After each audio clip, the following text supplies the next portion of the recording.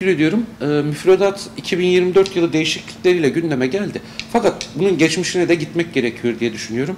Yani AKP iktidarının 2002 yılında e, milli eğitimi ve tüm ülkeyi yönetme girişimlerinden sonra 2005 yılında asıl ilk değişiklikler yapıldı. Neydi bu değişiklikler? Yapılandırmacı yaklaşım temelli e, müfredatta değişiklikler oldu. Daha sonrasında 2017 yılında geniş çaplı değişiklikler yapıldı. Hatta 2017 yıl yılında yapılan değişiklikler özellikle o dönemde kamuoyunda çok tartışıldı. Atatürk'ün tamamen müfredattan silinmesi e, ve benzeri şekilde yorumlandı. Hatta o dönemde evrim teorisi de biyoloji derslerinden kaldırıldı. E, hatta e, o dönemde Talim Terbiye Kurulu Başkanı bunun liselerde görülmesine gerek yoktur. Çocuklar işte büyüdüklerinde lisans eğitimlerine başladıklarında evrim teorisini öğrenirler gibi bir açıklama yapmışlardı. Şimdi bunların hepsini aslında birbiriyle bağlantılı süreçler.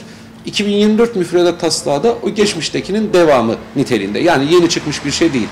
Buna karşı çıkmalıyız baştan söyleyeyim. Neden karşı çıkmalıyız da detaylara hiç girmeden felsefesine karşı çıkmalıyız. Çünkü evet ben o müfredatı inceledim. Birçok branştan e, açıklamalar var. Anladığım branş var, anlamadığım branş var. Kendi alanımız var. Fakat felsefesini okuduğumuzda zaten felsefesi neden karşı çıkmamız gerektiğini söylüyor. Felsefesi şunu söylüyor. Diyor ki kısaca bilimsel bilgi ve inanç arasında bir fark yoktur diyor. Bilimsel bilgi ve inanç birbiriyle eşittir. O yüzden herhangi bir bilginin doğruluğu kişiden kişiye değişebilir diyor. Bunu söylediği zaman zaten dogmatizmi de ister istemez eğitimin içerisine sokmuş olacaktır. Oysa ki bizler layık bilimsel eğitimden yanaysak dogmatizmin burada yeri olmadığına inanıyoruz eğitim sisteminin içerisinde. Dogmatizm insanların inançları ayrı bir şeydir. İnsan, insanların inançlarına karşı değiliz. Bu şekilde anlaşılmasın insanların inançlarını özgürce yaşamasından yanayız. Ama inançların eğitim sistemine hakim olmasına karşıyız. Bu ayrıma dikkat edilsin lütfen.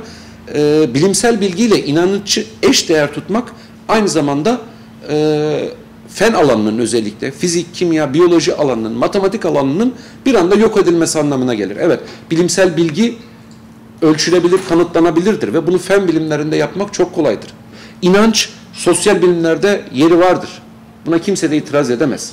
O tartışılabilir bir mevzudur. Fakat yeni müfredatın felsefesinin bu şekilde olması bir kez daha söylüyorum. Bilimsel bilgi ve inanç eş değer değildir. Birbirlerinden tamamen bağımsız şeylerdir. Ve biz bilimsel bilgiden yanayız. Müfredatın temel mantığı bu felsefesine yönelik e, eleştirimiz. İçeriğine baktığımızda da her alanı değerler eğitimi altı, adı altında bir şekilde dine yönlendiriyor.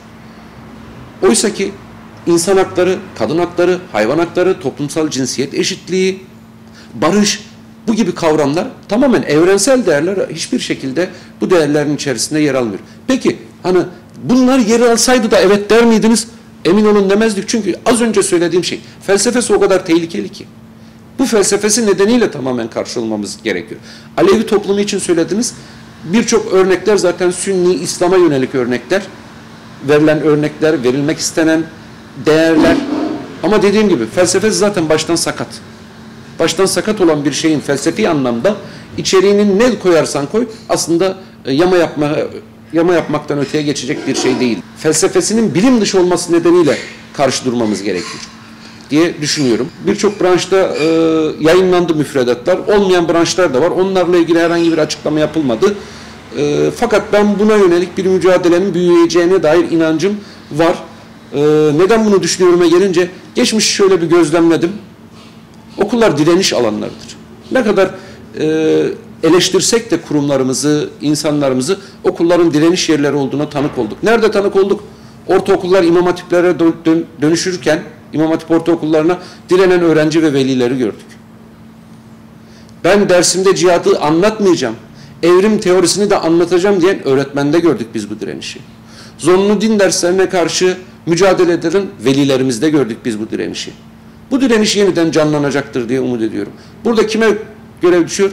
Layık, bilimsel, demokratik eğitimden yana olan sendika, dernek, parti bir arada tek hedef olarak bu müfredatın çekilmesini önüne koyarsa bunu başarabileceğimize inanıyorum. Bunun anlamı şu da değildir. Şöyle de anlaşılmasın. AKP iktidarından önce çok iyi bir müfredat vardı demiyoruz. Onun da değişmesini, onu da senelerce eleştirdik. En basitinden her zaman gündeme getirdiğimiz zorunlu din dersleri AKP'den önce de vardı. Ama gerçekten layık bilimsel bir eğitim nasıl olmalıyı bizler ortaya koyan çalışmalar yapmalıyız. Bunu da iktidara sunmalıyız. Gerekirse bir layık eğitim nasıl yapılmalı dayatmalıyız. Bunu başarabilirsek çocuklarımızın geleceği aydınlık olacaktır diye düşünüyorum. Bu müfredatı şöyle de önemsiyorum geri çekilmemesi anlamında. Eğitim anlamında Türkiye'nin iki tane kritik noktası oldu. Birincisi 4 artı 4 yasa tasarısıydı. 4 artı 4 yasa tasarısını maalesef zamanında geri püskürtemedik. Onun sonuçlarını biz öğretmenler şu an okullarımızda çok yakından hissediyoruz. İkinci dönüm noktası da bu. Bu müfredat da yerleşirse bir 5 yıl sonra 10 yıl sonra çocuklarımızın nasıl bir eğitim sisteminden çıktıktan sonra e, neler yapılacağını, nasıl bir dünya ve Türkiye yaşayacağımızı tahayyül etmek istemiyorum. Bu nedenle acilen bu yasanın geri çekilmesi şart diyorum.